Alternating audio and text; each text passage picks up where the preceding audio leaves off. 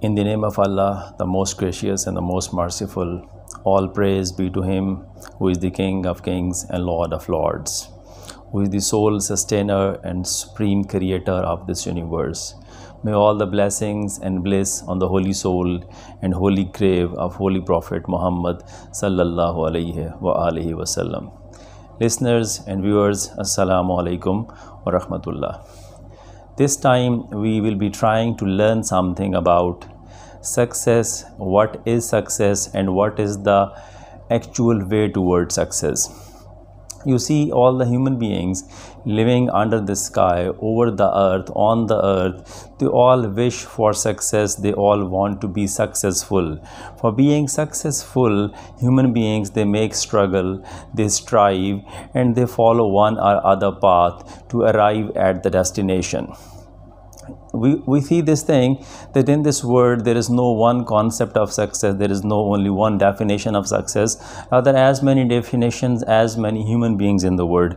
As many pathways as many human beings there in the world. So people define success their own way. People understand success their own way. But this time we will not be talking about different available concepts about success different available definitions about success. What does it mean to me? What does it mean to you? What does it mean to a scholar? What does it mean to a philosopher? No not this way rather. Today we will be trying to learn something that what does quran say about the concept of success? What does allah almighty say about the concept about about being successful in in, in the life there is very popular surah in the Holy Quran, Surah Asr. It's a very short surah and almost all the Muslims, all the kids, adults, they learn it by heart and it's very easy to learn as well.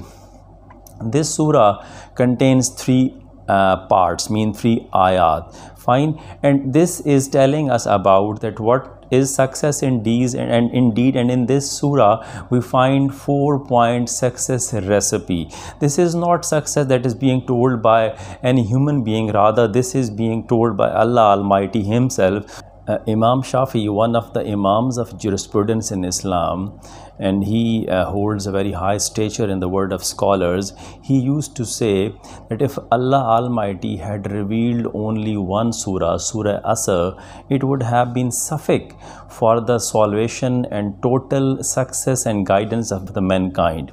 So by this by these words of imam shafi we can understand the significance and importance and the wisdom that lies in surah asr that he is saying if allah almighty had revealed only one surah, Surah Asr, it would have been sufficient. It would have been sufficient for the eternal guidelines, for the eternal guidance, and for the absolute success of the human beings in this world.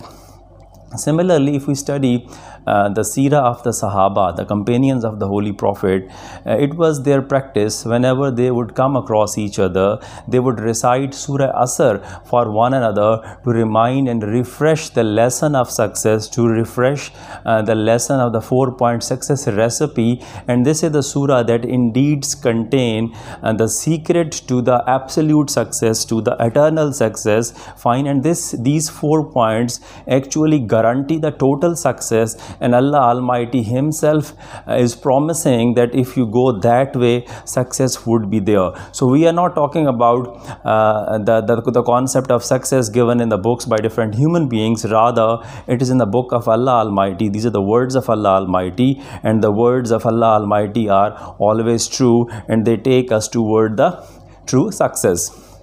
You see, Surah Asr it's a very sim a very short surah and we all uh, know the words and the, the meanings of that surah as well. Wal asr innal insana lafi khusr illa allazina amanu wa amilus salihat wa tawathaw bil haqq wa tawassaw bis sabr so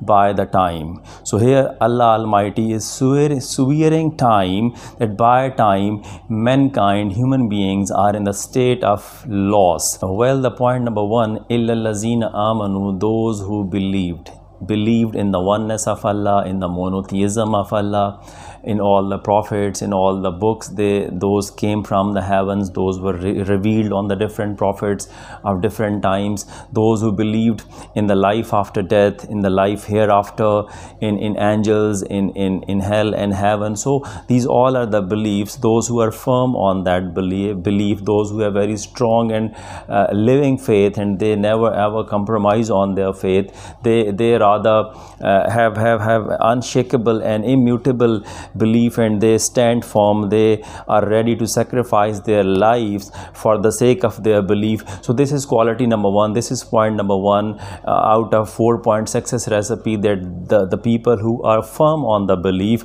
and what are the beliefs that are given in the other parts of the holy quran. Number two amanu and number two amilus salihat those who did the righteous deeds good deeds virtuous deeds pious deeds they do piety to others. They do good things. They do the good good good actions. Fine. So all the good things and they ask and and all the uh, good actions all the good practices all the good things that have been told by allah almighty they exactly follow those things. So this is point number 2 in the four point success recipe. And point number 3 watawasaw bil they ask for good. They ask for for virtue. They preach virtue. They exhort each other for good things for good practices. They tell about the do's which have been told by allah almighty. They tell about the don'ts that have been told by allah almighty. So this is point number three out of the four point success recipe where they are advising people to do good to come to good to say good. And finally point number four watawasaw bis sabr.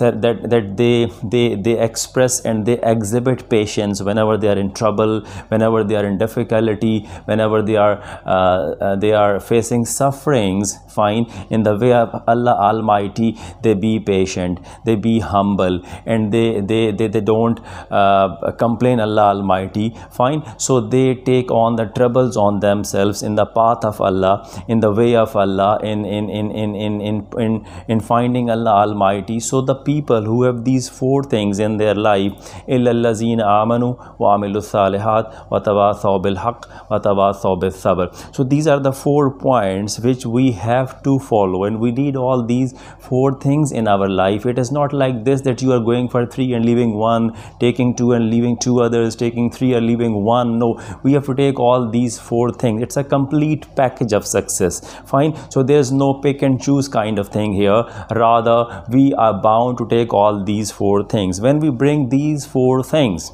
in our lives then we will be going toward the path of success. We will be on the path of success. We will be on the highway of success that will take us to eternal peace that will take us to eternal success that will take us to absolute success. And you see the success the way to success the pathway to the success that has been told by allah almighty there is no doubt in that. There is no shadow of doubt in that. So we must come towards that. Don't go for those things which are being told by the human beings. They may be right they may be wrong but here there is no question of being wrong. It is 100% correct. It is absolutely correct. Fine. So if we have these four things if i have these four things in my life i will be successful.